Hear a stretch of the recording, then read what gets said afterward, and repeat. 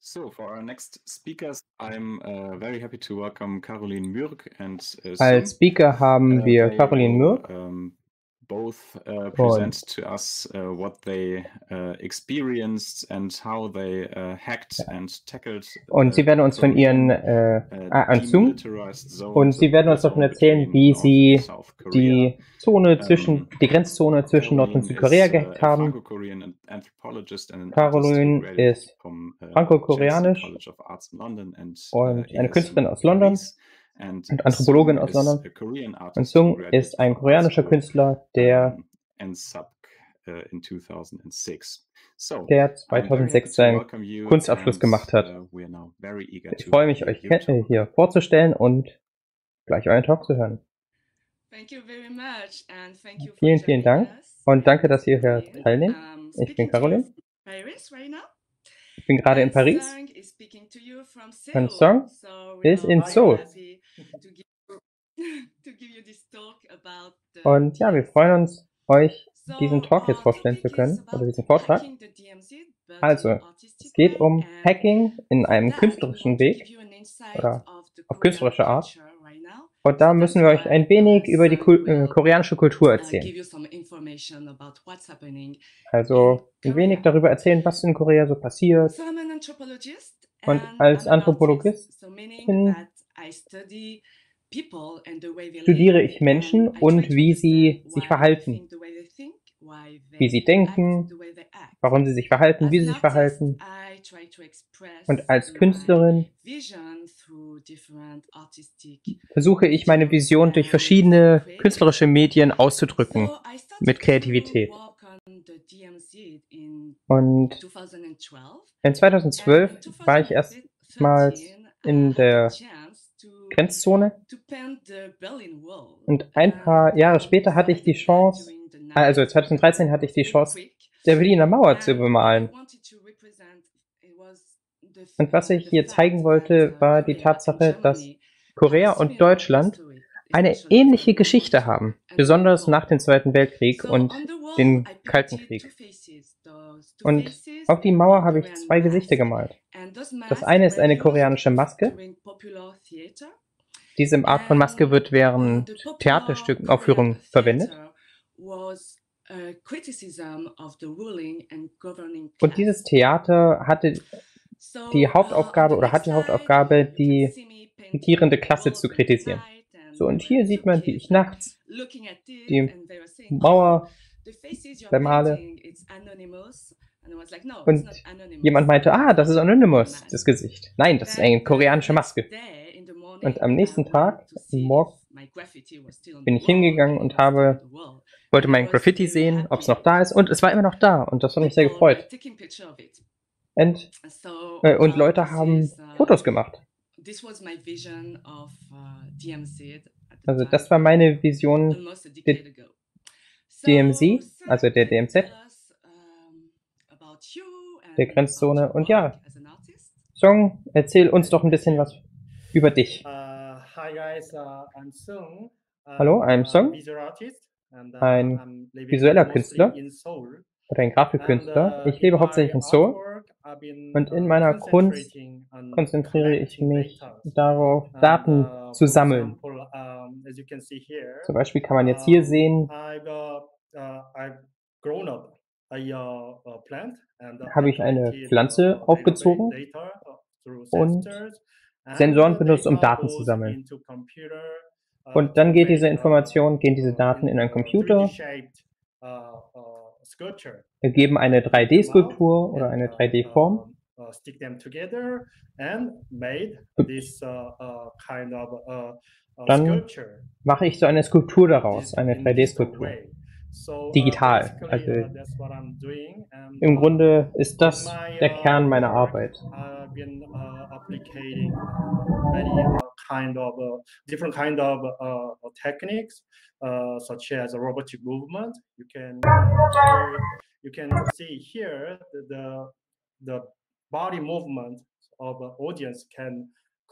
Ich habe auch verschiedene Techniken verwendet. Zum Beispiel konnten hier Zuschauer die Bewegung des Roboters kontrollieren. Performer use the robotic uh, sculpture as a, as a, some uh, a tool. Oder ein Künstler, ein Performer konnte diese Skulptur als Werkzeug verwenden. Uh, Ja, uh, diese Technik, die can, Technik, die ich uh, verwende, uh, uh, die, uh, uh, die uh, äh, stützt sich vor allen Dingen auf die Animation. Und diese Bewegung äh, des Publikums spielt dabei eine ganz wichtige Rolle. Und ich habe mich Auch äh, damit beschäftigt, ich experimentiere damit, äh, mit, mit äh, VR-Brillen äh, das äh, Ganze sich anzuschauen.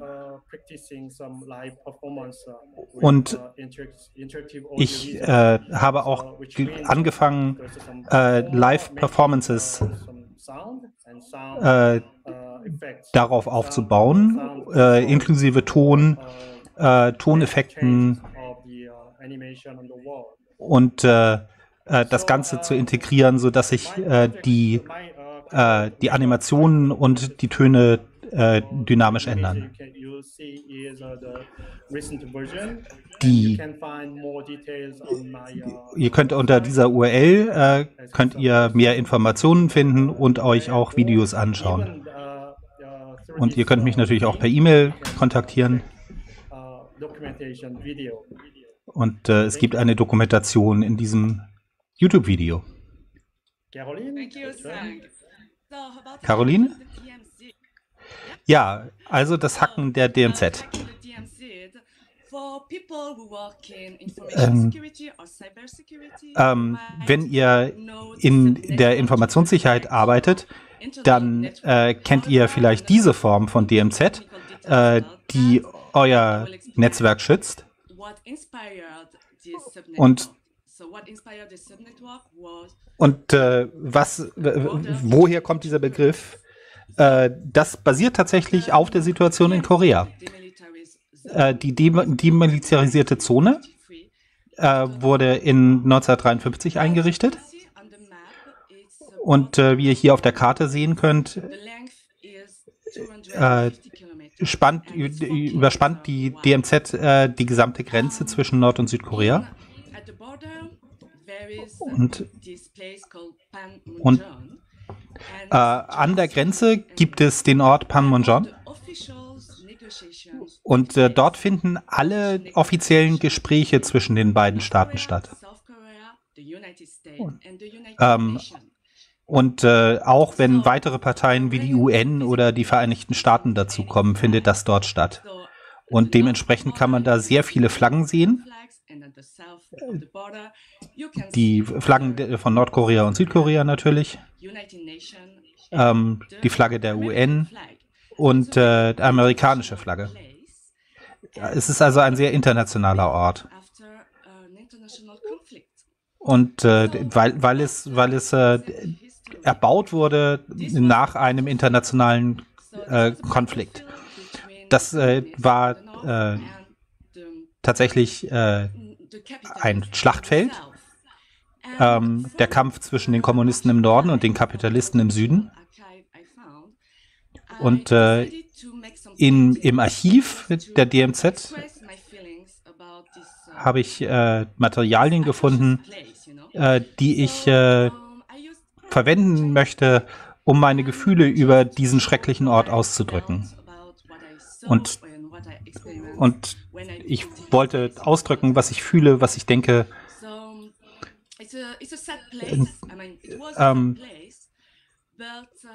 Es ist ein äh, fester Ort.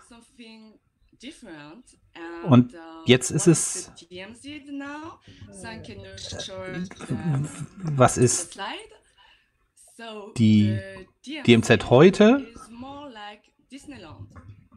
Äh, heute ist äh, die DMZ mir so ein bisschen so eine Art Disneyland. Die das Militär hat das Ganze äh, in ein Disneyland verwandelt. Man kann dahin reisen und man kann äh, Selfies machen. Äh, man kann nordkoreanischen Wein dort kaufen. Und, und äh, die, die äh, Fremdenführer erzählen alle dieselbe Geschichte. Äh, man hört also viel Propaganda. Und sowohl äh, wenn man auf der südkoreanischen Seite ist, als auch wenn man auf der nordkoreanischen Seite ist. Je nachdem hört man dann unterschiedliche Propaganda. Aber es ist sehr interessant, äh, diesen Ort sich anzuschauen, weil äh, es äh, gibt natürlich Merch und äh, Goodies äh, über die Grenze, die man kaufen kann. Das andere, was sehr interessant ist, äh, was wissenschaftlich sehr interessant ist, äh, es, es, es gibt eine ganz besondere Biodiversität ähm, äh, in diesem vier Kilometer breiten Streifen. Äh, das ist wirklich ein Niemandsland.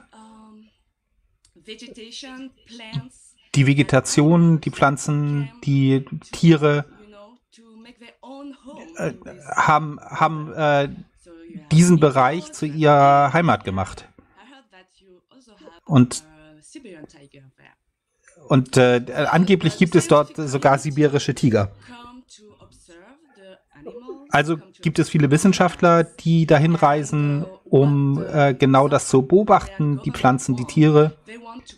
Und, und äh, die südkoreanische Regierung äh, hat die UN darum gebeten, ähm, äh, um, um äh, die, die, diese, die DMZ äh, zu einer zum Weltkulturerbe zu erheben.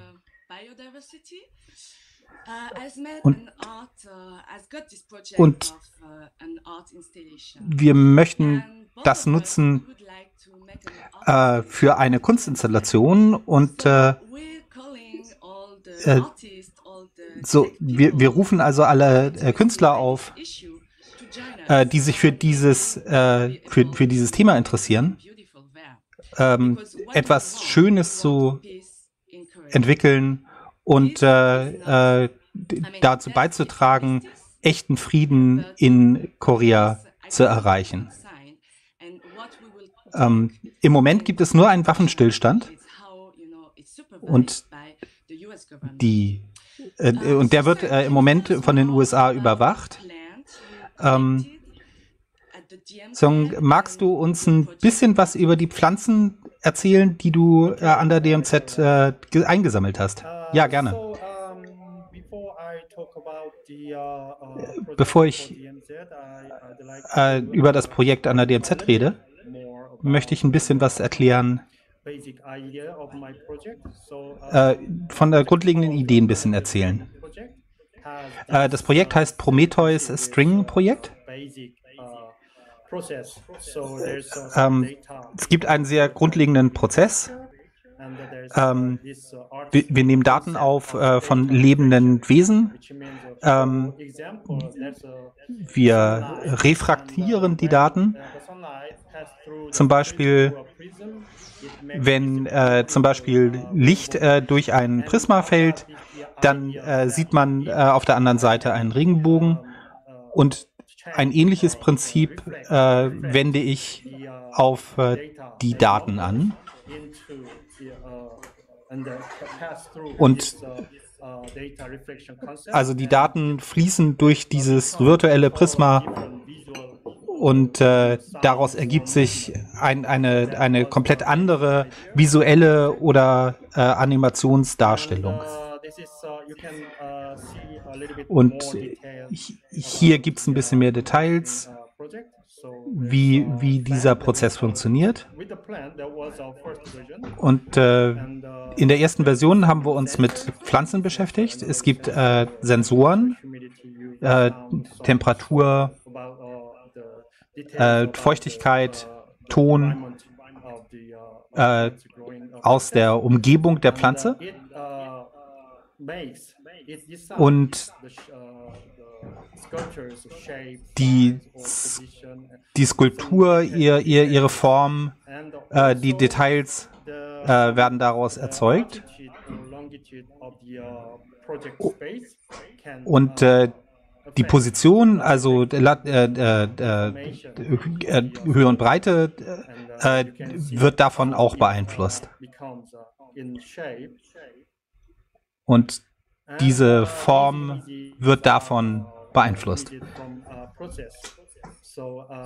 Und dieser auf, auf der linken Seite kann man sehen, wie die Daten in den Computer einfließen und diese Zahlen beeinflussen, äh, verändern die Form alle 30 Minuten.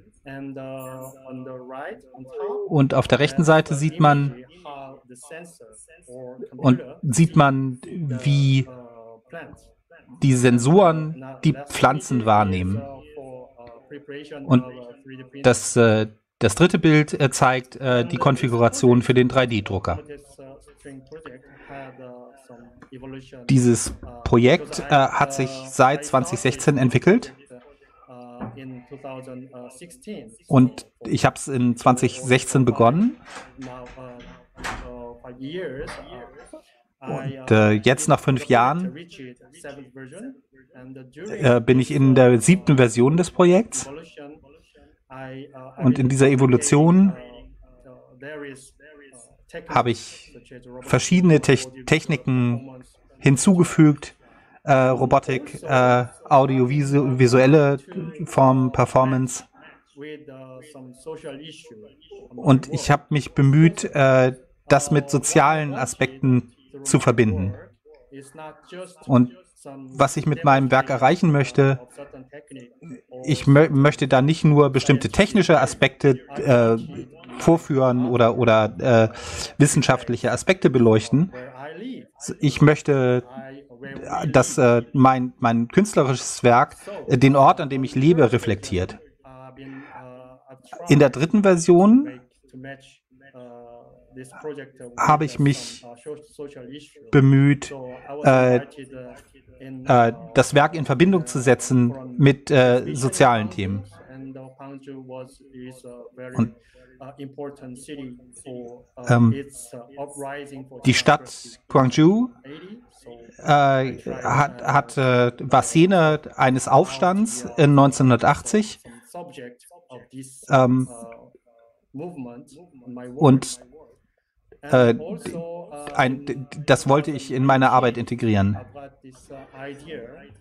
So in 2018 habe ich diese Idee äh, und die Idee über die DMZ zu sprechen äh, angefangen zu integrieren. Ähm, und es ging darum, die beiden Präsidenten äh, von, nämlich die von Nord- und Südkorea, äh, deren Treffen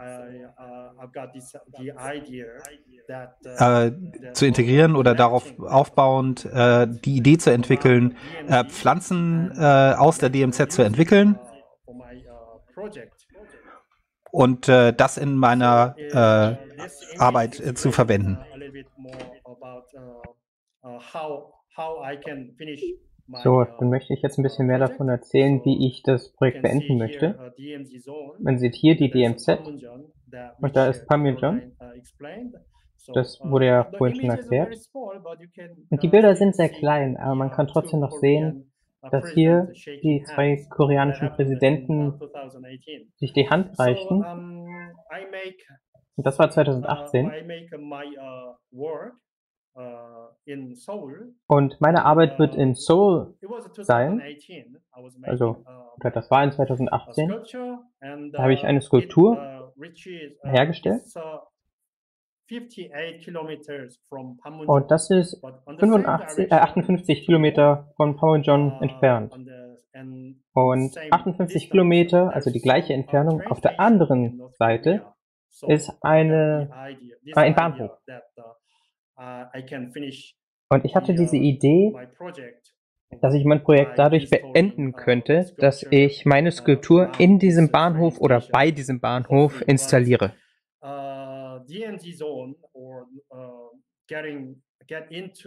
Aber in diese DMZ-Zone, also in DMZ zu kommen, die Zone, oder gar Nordkorea, das ist für mich gerade unmöglich.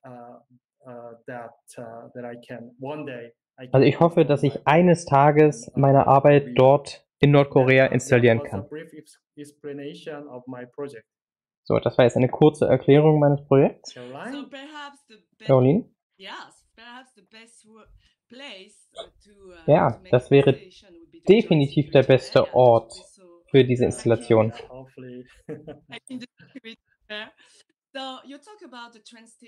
Du hast davon geredet, diese Bahnhof, äh, dass da ein Bahnhof ist. Und ja, auch in der DMZ ist ein Bahnhof, der, Begeister, äh, der ein Geisterbahnhof ist. 2002 kam George Bush und hat diesen Bahnhof besucht.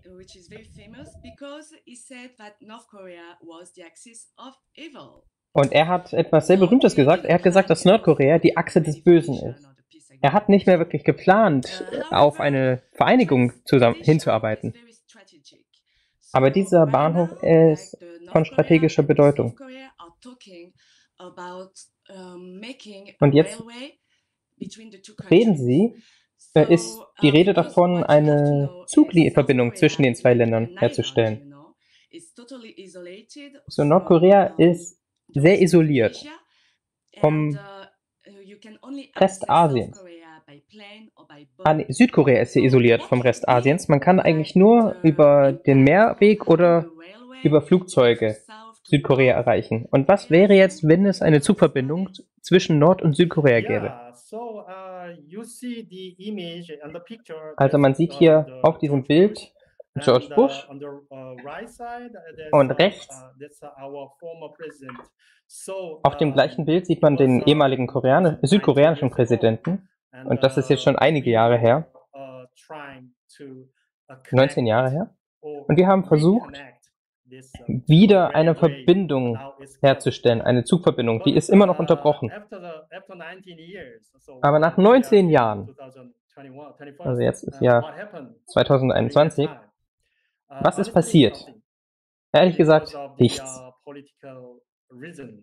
Also es gibt politische Gründe, dass da nichts passiert. Aber hoffentlich, weil die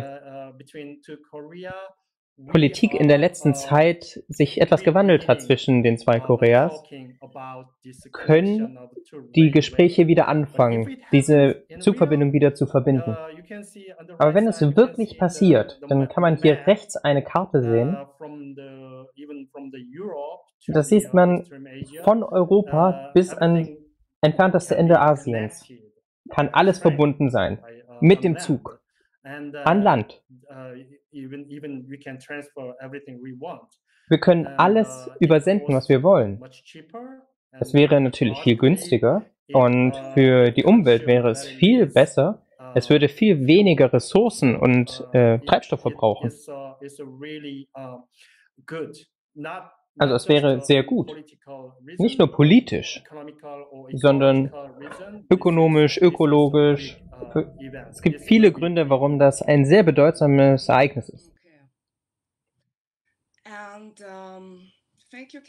Okay, danke.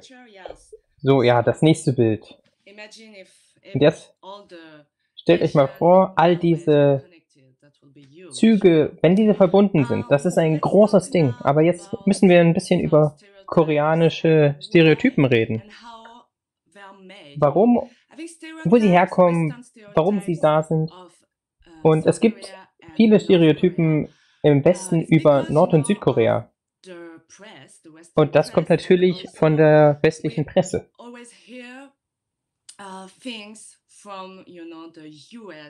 Und man hört natürlich alles oder alle Informationen ist durch die amerikanische, US-amerikanische Perspektive getrübt. Und natürlich steckt da immer ein Körnchen Wahrheit drin. Aber ich möchte ein bisschen mehr erklären, was hinter diesen Memes steckt. Also wir wissen, dass es in Nordkorea Hacker gibt. Und uh, US-amerikanische Sicherheitsforscher oder Security-Forscher wurden angegriffen. Und dann gibt es natürlich K-Pop von Südkorea und Gaming in Südkorea. Aber es gibt noch mehr. Dahinter steckt natürlich auch Politik. Also möchte ich jetzt ein bisschen erklären, was dahinter steckt. Man muss wissen, dass die USA sehr viel Macht über Korea ausüben. Hier sieht man den ehemaligen Präsidenten Trump, Kim Jong-un und den südkoreanischen Präsidenten. Also, Song, bitte erzähle uns etwas über diese Bilder. Ja, ich erinnere mich, das war 2018. Nicht direkt, aber uh, uh, uh, uh,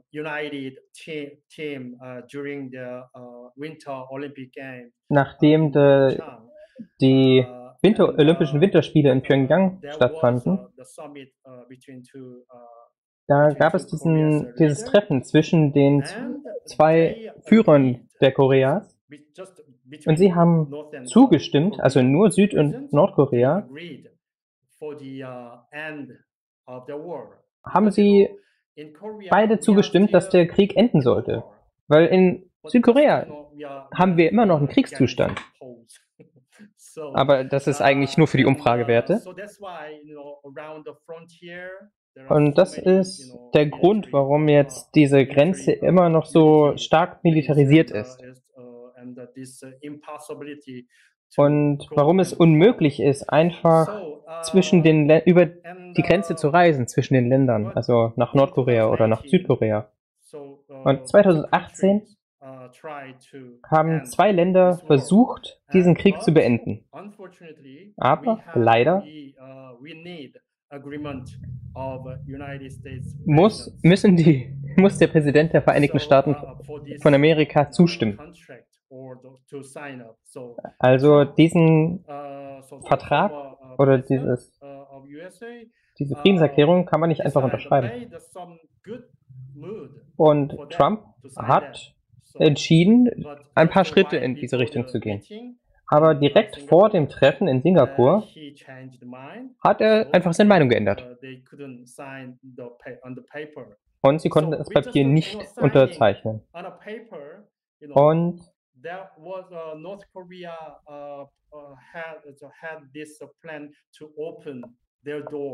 und Nordkorea hatte den Plan, die Türen zur Welt zu öffnen. Und ihr Militär von dieser Grenze zurückzuziehen. Aber das konnten wir nicht machen, weil die USA da nicht, weil der Präsident der USA einfach seine Meinung geändert hat. Das ist, was da passiert ist. 2018. So, jetzt habt ihr gesehen, wir brauchen nur eine Unterschrift des US-Präsidenten, um Frieden in Korea zu haben. Die Frage ist jetzt, wird Biden unterschreiben? Wir wissen es nicht. Wir würden uns natürlich freuen, aber wir wissen es nicht. So, jetzt haben wir über das Militär von Nordkorea geredet. Könnt, kannst du uns ein bisschen was davon erzählen, wie die Strategie vor jeder politischen Wahl in Südkorea ist? Wie die Raketen, also Nordkorea schickt Raketen vor jeder Wahl in Südkorea. Kannst du uns da ein bisschen mehr davon erzählen? Ja, es ist, ist fast schon eine jährliche Tradition. Es ist albern, aber ja. Also für Südkorea, aber mehr noch für die alte Generation, ist der Hauptfeind immer noch Kommunisten und die kommunistische Re äh, Regierung. Und das wird sehr gerne für Politik benutzt. Und immer kurz bevor wichtige Wahlen sind, also Präsidentenwahlen zum Beispiel, rufen sie die Regierung in Nordkorea an und Nordkorea startet kurz darauf experimentelle Raketen und testet wieder, macht einen Raketenstart. Und die meisten Menschen in Südkorea wissen das. Aber es funktioniert immer noch. Also die ältere Generation, die lässt sich davon noch beeinflussen. Und sogar jetzt, einige Tage vor der Wahl, und jetzt, ich weiß nicht, ob es letzte Woche war oder vor zwei Wochen, war da wieder ein Raketenstart in Nordkorea. Also es ist ein bisschen wie Feuerwerk. Ja, und das funktioniert immer noch. Ja, so jetzt Südkorea. Wir wissen natürlich diese Projekte mit äh, Fusionsreaktoren. Ich wusste selber gar nicht, dass Südkorea eine künstliche Sonne herstellen will. Das könnte ja vielleicht mit dem Klimawandel helfen. Ja, ja, ich wusste davon aus den Zeitungen und ich habe ein bisschen darüber gelesen. Also koreanische Wissenschaftler haben diese künstliche Sonne erschaffen für etwa 20 Sekunden. Das ist das erste Mal weltweit, dass eine künstliche Sonne so lange gehalten hat. Das ist ein sehr, sehr gutes Zeichen. Und ja, also für, es ist ein gutes Zeichen für die neue Energieversorgung, weil Atomkraftwerke, die erzeugen sehr viel äh, Müll, radioaktiven Müll. Und das ist sehr gefährlich.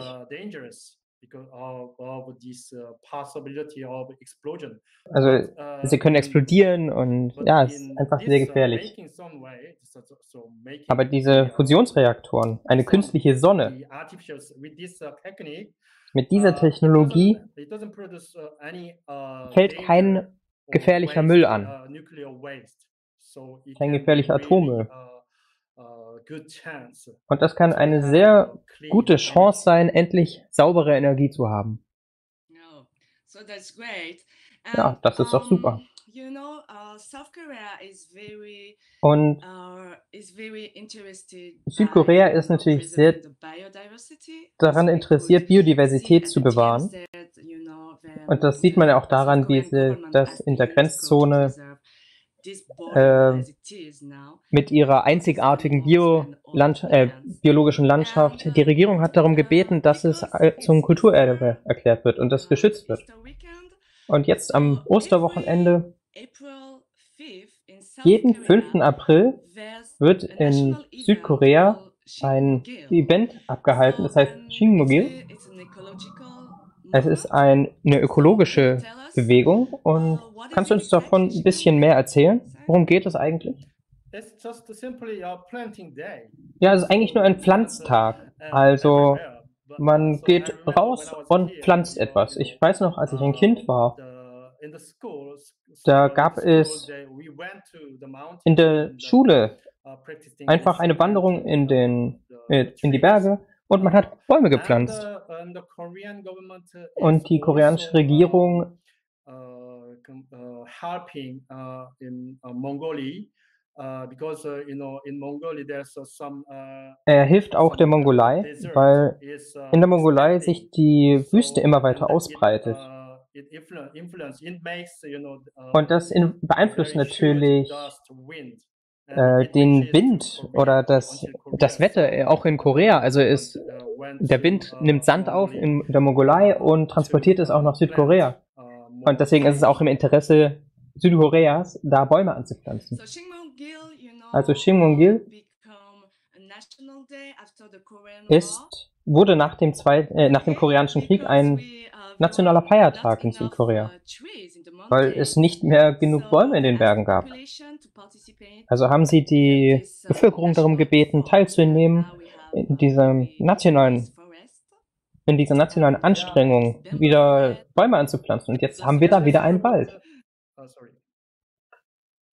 because uh, you know that, that uh, when uh, the Korea uh, Korean people started this uh, ja als sie das koreanische Volk diesen Feiertag uh, the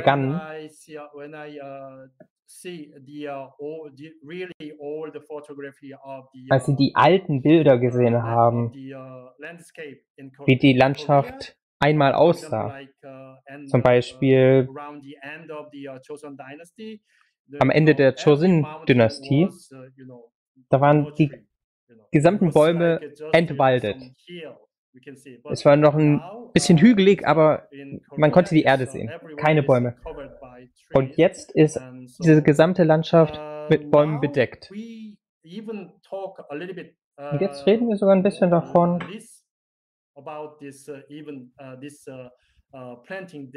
Nein, wir reden ein bisschen weniger über den Pflanztag, weil wir jetzt genug Bäume haben. Und ja, die Leute gehen sehr gerne wandern. Ja, vielen Dank für eure Aufmerksamkeit. Wenn ihr unserer Kunstbewegung beitreten wollt, und ja, dann würden wir sehr gerne von euch hören. Ihr könnt uns schreiben, entweder mir oder Seng. Wir geben euch sehr gerne weitere Informationen über unser Land. Und ja, wir freuen uns jetzt, eure Fragen zu hören. Vielen Dank. Yes, thank you very much uh, Ja. for your presentation. Vielen Dank auch für den Ähm, Vortrag oder für die Präsentation. Uh, So, Informationen für die Leute im uh, Stream. Wenn ihr Fragen habt, dann könnt ihr das gerne in die, ins Pad schreiben. Der Link. Ist auf der Seite für den Vortrag. Es ist ein bisschen versteckt zwischen uh, den the beiden, zwischen den Informationen uh, über die beiden Sprecher. Uh, Aber da ist ein Fragenfeld, da ist ein uh, Link. The first question that So, erste Frage. there for almost all of the talk. Maybe uh, you can answer that individually. Um, did you So, ever cross vielleicht- border? Habt einer von euch oder habt ihr schon mal die Grenze übertreten? Nein, nein. Ich habe meinen Militärdienst, mein Militärdienst dauerte drei Jahre und ich habe ein wenig militärisches Training in der Grenzzone gehabt. Aber nein, das ist absolut verboten. Es ist gesichert mit sehr, sehr viel Militärpersonal. Es ist sehr, sehr schwer, die Grenze zu übertreten. Aber als Tourist hat man da bessere Chancen. Es ist möglich. Ja, ich habe die Grenze noch nicht übertreten. Ich hoffe, dass ich es eines Tages machen werde.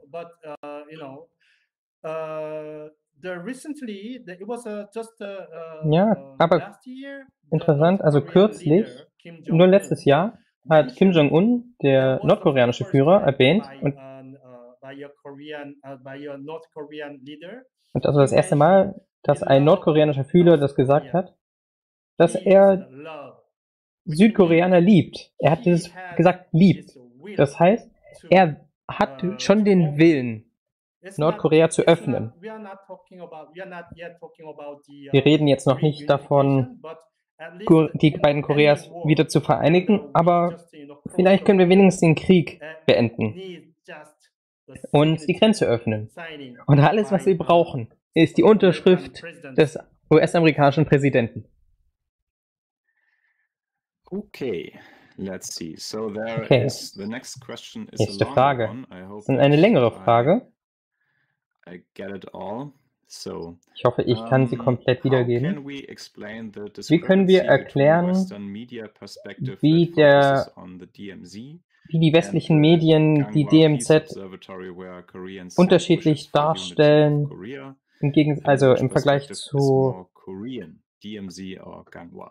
oder wie Gangwa die DMZ darstellt.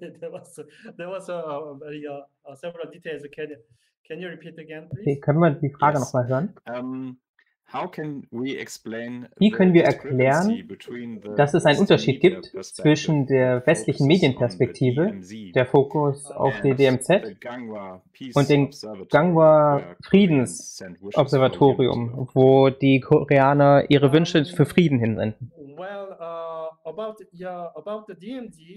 Ja, also die DMZ oder die Zukunft uh, dieser Grenzzone.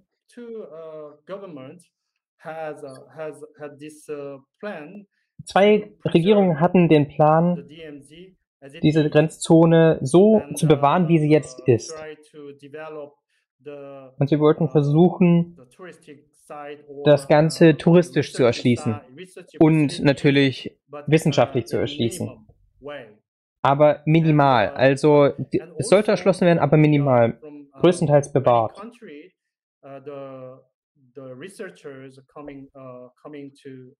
Forscher von vielen Ländern kommen in diese Grenzzone, um Forschung zu betreiben. Das ist jetzt schon so.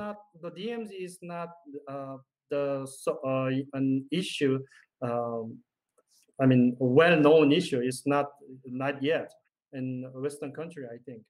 Aber ich denke, dass diese Grenzzone in westlichen Ländern noch nicht so bekannt ist.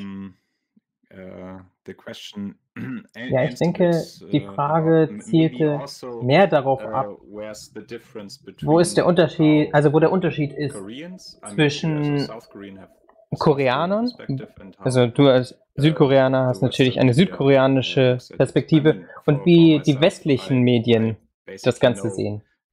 Also ich weiß natürlich, dass die DMZ existiert und durch diesen Talk und Vortrag habe ich sehr viel gelernt.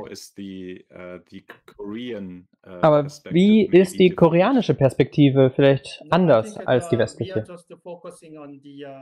Ja, ich denke, dass wir uns mehr darauf konzentrieren, dass dieses Stück Land jetzt seit über 60 Jahren unberührt war. Und wir sagen absolut oft, dass wir da nichts machen wollen.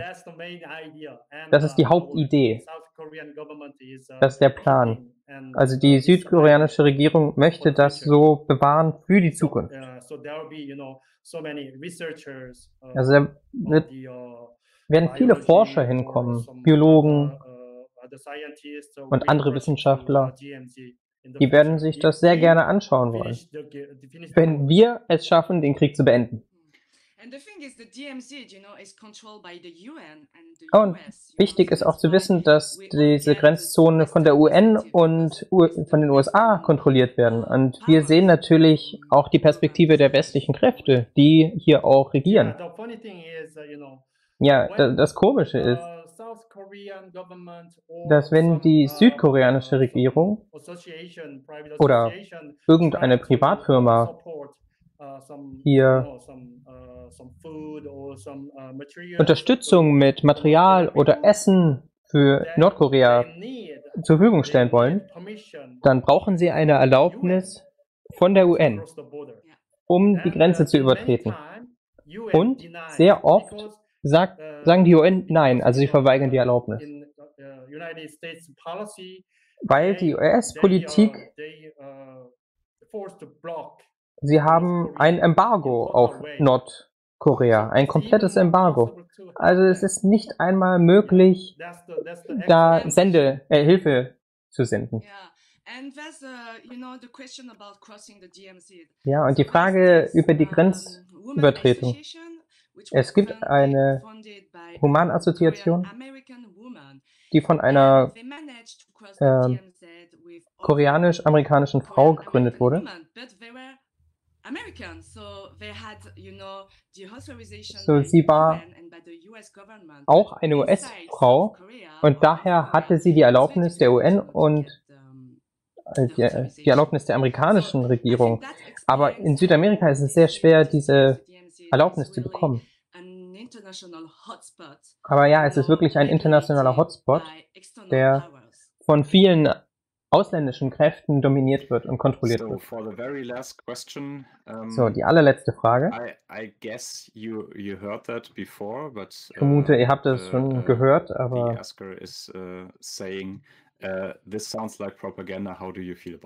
ja, das klingt wie Propaganda. Wie, wie fühlt ihr euch dazu?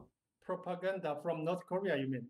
Propaganda von Nordkorea oder was ist die Frage? I uh, think it aims at South Korean propaganda. Ich denke, es zielt auf südkoreanische Propaganda ab. Das sagt's nicht, aber so klingt die Frage. Ja, also das letzte Event vielleicht? Ist das vielleicht gemeint? It's the rest of the question. Yes, I Das, guess. um, das ist alles, was die they- Frage sagt. Ich vermute, dass es darum geht, ja. Ja, weil die- das Grenzgebiet von beiden Seiten haben wir tatsächlich große Lautsprecher aufgebaut für Propaganda. Also haben Leute auch Ballons rübergeschickt mit Karten mit Postkarten und das von beiden Seiten. Aber in letzter Zeit ist der, ist der politische Klima etwas besser geworden und wir haben mit der Propaganda weniger. Wir haben weniger Propaganda in den letzten Jahren. Und, und der letzte Präsident, der hat die, diese dummen Aktionen wieder gestartet. Aber in Südkorea sind viele Leute, besonders Flüchtlinge von Nordkorea, sie haben diese Verbindung. Und auch die senden noch Nachrichten nach Nordkorea, aber die meisten Korea äh, Südkoreaner finden das nicht gut. Ja, es, es wirkt so ein bisschen wie ein Spiel. Propaganda zwischen Nordkorea und Südkorea. Es ist mehr ein Spiel und ja, es gibt Sticker, es gibt Raketenstart und all das.